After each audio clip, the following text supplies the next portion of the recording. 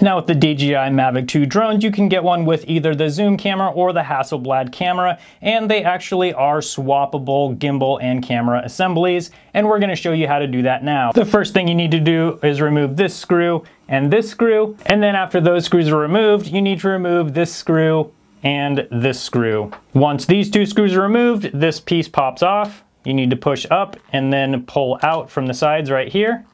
As you can see, there are two little pins a pin here and a pin here. After that's removed, you need to remove this screw and this screw. Once those screws are out, you need to pop this ribbon cable up right here. Once that ribbon cable is popped up, the gimbal and camera assembly will simply lift out of the drone like that. With the new gimbal assembly ready to go in, you just drop it down in, drop the back down in, connect the cable, put the two screws in here, put the cap back on, and put those two screws in in the front. I'll leave a link for the DJI Mavic 2 drones in the description below. Let me know if you have any comments or questions in the comments section below. That's all it takes to replace the gimbal on your Mavic 2. Thanks so much for watching and I hope you guys have a great day.